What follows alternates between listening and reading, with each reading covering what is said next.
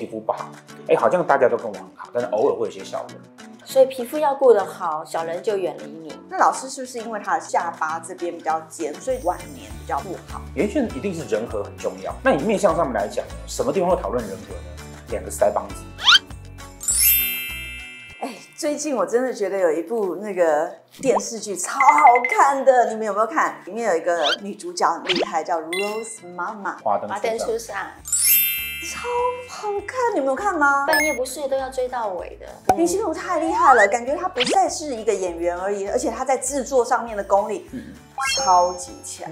他实际上她之前在中国就做了很多不错的好很好的戏。对呀、但是问题是她在中国的时候，大家都觉得说哇，每一个人都风生水起啊，好像一切都这样平步青云。但是突然在娱乐圈，嗯出现了一个大事件，就是范冰冰的黑白合约。哇，很多人都想说完蛋完蛋了，这次这个娱乐圈要应该要静默一段时间了，因为有很多的艺人，我们说实话，可能有很多的艺人都有这种黑白合约的可能性，所以大家都开始纷纷关闭他们的这种工作室嘛，对不对？对，结果关闭的时候，没想到，哎，林心如怎么触角这么快啊？嗯哎，她真的是很敏锐，就回到台湾另起炉灶，然后立刻这个华灯初上一出来的时候，哇，他说哇，好强哦，好厉害哦。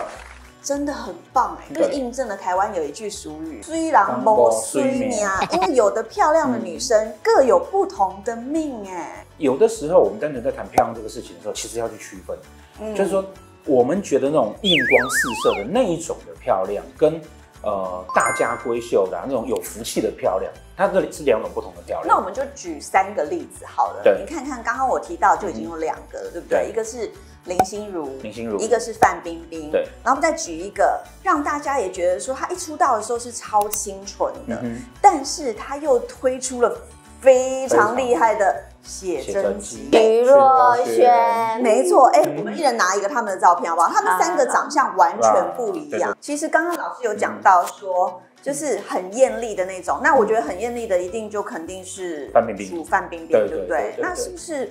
其实我们以现况来看的话，我觉得好像范冰冰跟徐若瑄都比较多一点的争议，争议而林心如没有。老师可以跟我们个别分析一下为什么吗？我们在讨论所谓的“漂亮”这两个字的时候，嗯其实会有很多很多种不同的角度。好，比如说很多时候啊，男人眼中的漂亮跟女人眼中的漂亮会不一样。真的，等一下，等一下，这时候我们就要来问一下 Jennifer，请问你觉得、你个人觉得这三个，你觉得谁最漂亮？我自己喜欢啊对徐若瑄跟那个林心如。我喜欢徐若瑄。老师呢？以男人的眼光，你喜欢谁？有谁愿意跟我约会，我就喜欢谁。好烂哦，不能这样，你这样不行，太不挑了。对对对，徐若瑄真的是不错的，对对，对，本人呐、嗯台上台下。他都是这个样子，我们常说他是天使的脸蛋，魔鬼的对身材。对对对嗯，但是的确，他也是在命上面，好像也是有一些坎坷有一些坎坷的地方。我们以面相来看的话，是怎么样去看？除了她漂不漂亮之外，我们要怎么样看说这个美女看起来她可能命，可能在某一些阶段会这边要讲一个呃，在在命理学上面哈，一个很有趣的事情哈，嗯。就是说啊，以斗数来讲哈，呃，大概那个我们有一点点了解的人哈，都会很怕说我的命宫里面哈会有煞星，哦，好，我命宫会有煞星，大家都会怕这个事情，哦，好像啊，我命宫有煞星，可能就会怎么样怎么样怎么样。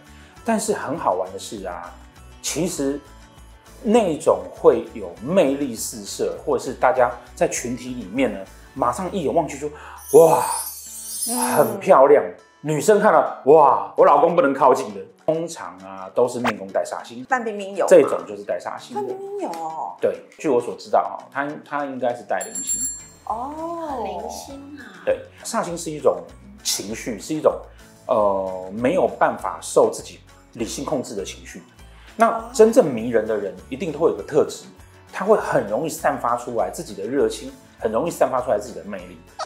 对，所以为什么女生呢、她只要一化了妆，高跟鞋一踩，她就会变漂亮，嗯，嗯，就是因为那个鞋子一踩上去，妆一化上去，你的自信会提升出来。对，那带煞星的人天生有自信，哦所以他很自然的就会，就是同样的命盘，你有煞星跟没有煞星，有煞星那个就会比较漂亮，嗯而且那种漂亮呢，都会比较偏向啊对异性的吸引力。那如果说在脸这面相上来看的话，嗯他们会有什么样的特征是那种人美，但是命不太好的那种？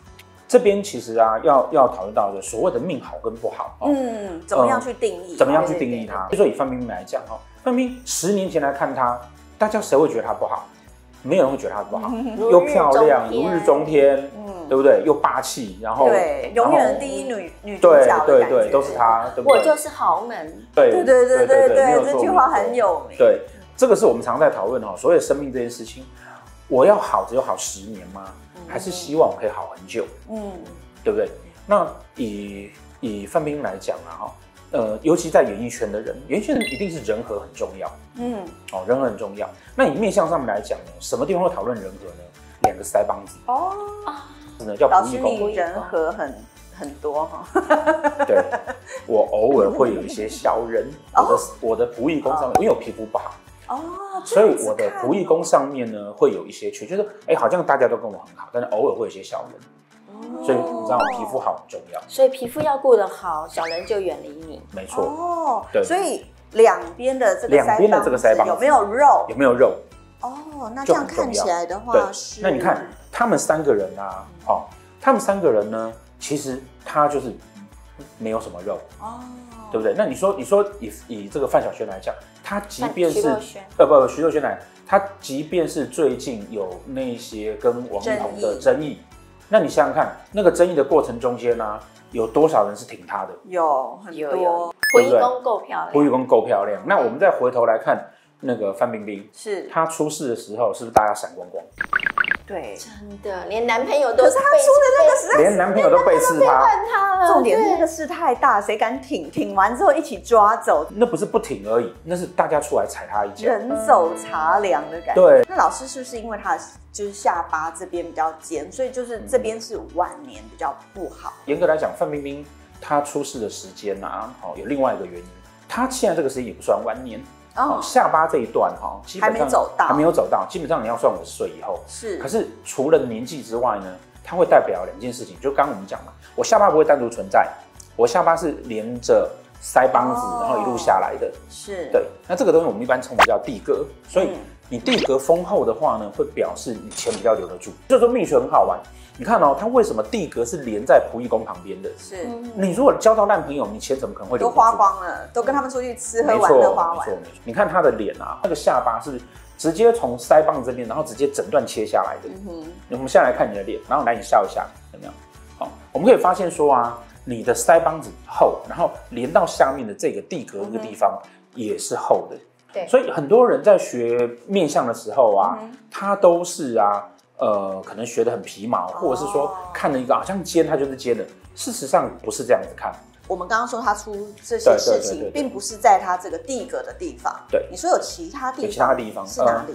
脸上哈、我们也可以看他的岁数，也就是他什么时几岁时会发生什么事情。那范冰冰在出问题的时候呢，在三十多岁，三三十多岁，我们通常会去看啊，她眼睛的部分，你会发现她有点黑眼圈。哦，这里有黑眼圈。对，然后另外还有啊，如果大家有兴趣，可以多去搜寻她出事前后的那段时间，那不能是修过的照片，仔细看你会发现啊，她的眼睛啊会有几个特征。第一个特征呢、是啊，他眼睛其实一大一小，嗯哼，但是那个很细微。嗯，好，第二个特征呢是他那段时间啊这一块啊黑眼圈啊特别明显。嗯，那这个表示什么呢？这个表示啊，它其实是会受到一些灾难，而这个灾难呢，因为黑眼圈这一块啊，它连带得到我们刚才讲整个腮帮子是仆役宫嘛，它其实是会受到一些官非以及被朋友的背叛。像老师他们都属于美女嘛，但是你有说到，就是说，因为像比如说我刚刚有讲到林心如，她就很厉害，就所有人都。呃，在担心，然后再把自己的工作室关起来的时候，他却是很敏锐的，可以找到那个最先的先机，嗯然后移回来台湾之后创其他的事情出来。那他是怎么看他有这样的智慧？通常啊，像范冰冰这一类的美女，就是那种艳光四射型的，嗯哼哦，她通常会带煞星。嗯，那这个煞星呢，只要是带在命宫的啊，它一定具备一个特质，就是啊，我想要做什么，别人劝不听。一意孤行。对，一意孤行，一定会有这样的状况。因为我就觉得我是对的啊，对所以他会这么霸气的讲说，我就是豪门嘛。对那，你想想看，在那样的情况之下，即便你听到风吹草动，你也觉得我他觉得他很稳，我很稳，我没有关系，我有足够的关系。反观林心如呢，这样这种的面相啊，其实素颜的时候很邻家的面相啊，嗯哦，这一类的脸哦，通常都不会是带到煞星。有没有带到煞星这件事情，有个很重要的关键就是啊，你会不会一意孤行、哦冲动？那没有带到煞星的这种脸呢，也就表示另外一件事情，就是他会政通人和，然后人家讲他会听。哦，哦，我不相信中国演艺圈出这么大的事啊，嗯没有风声。对那为什么同样这个风声，呃，他听到，他也听到，可是他早早就在做准备了。嗯哼，我自己得到了消息啊，是嗯呃，他早在有这些现象出现之前，他就已经开始在预备，要开始转移阵地到台湾。哦，那时候听说是说是说要照顾妈妈，其实他就已经想要转战对台湾对，就已经要了转战台湾对，然后他回台湾以后呢，嗯，呃，他就开始呃，在台湾的这个影剧界啊，各方面的，其实他都在打点关系了。嗯其实现在有很多的，不管是男生女生啊，都很喜欢在就是自己有一点点小小时间的时候呢，稍微帮自己 upgrade 一下，进步一下，改造一滴滴，嗯或者是有一些人真的是改造的比较疯狂。那 Jennifer 知道有很多女生会去咨询的时候，通常最多咨询的地方是哪里？大部分来说的话，他们最多咨询的当然就是呃鼻子跟下巴，嗯因为呢东方人嘛，他们喜欢西方人的审美标准。那鼻子比较高挺的话，就轮廓比较深；下巴呢，有一阵子呢，它也流行那个锥子脸，嗯啊，脸很尖很尖很尖。嗯所以呢，年轻的女孩子呢，她们就会觉得说啊，可是现在很流行啊，这样就是美。她们认为流行就是美，嗯但是她们没有想到说以后她可能会后悔，嗯因为呢太尖的话，说真的会比较保命相。哦那我们就会觉得说，不希望他后悔嘛，嗯因为他既然这个花钱了，然后也想要改造自己，我们当然也希望他运就运势比较比较顺遂一点。命理学很重要的观点就是啊，什么东西比较好的哈、都是要看起来自然的，一眼望去就会吸引人的呢，它一定都跟正常人不一样。可是实际上呢，这一类的面相啊，它就是大好大坏的面相。哦那既然是这个样子的话呢，他所做的每一件事情啊，都不可以太夸张。譬如说，呃，我们希望自己人缘好一点，那你这块如果有比较弱，哦，就那把它补饱满一对，点，把它补饱满一点。是好，那你希望你自己的下巴部分好一点，晚年分好一点，那这一块呢可以补一点。是好，那或者是说你希望说，呃，你自己啊不要有太多烂桃花，嗯哦，那至少你的眼袋要去掉，哦，眼尾纹这边哦，夫妻宫的这部分要去掉。但是呢，这边也要讲到一个，应该是很多人都想要问的一件事情哦。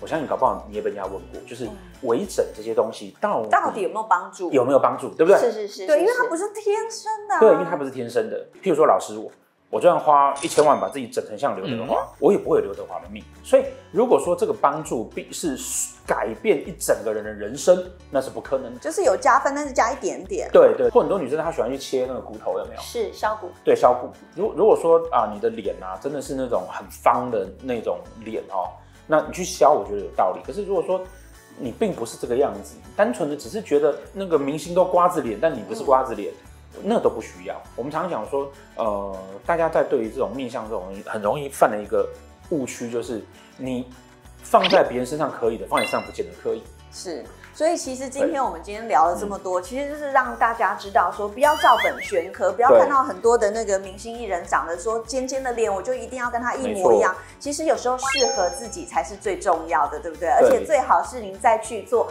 任何的事情之前，然后找到一些有福气的朋友，可以给你一些意见，然后听进别人的意见，搞不好你之后的下半辈子都会非常的顺畅。那当然还有就是把握时间，每一次老师的影片出来的时候，就要点击、按赞，还有订阅、分享。好，下次见，拜拜，拜拜，拜拜，谢谢。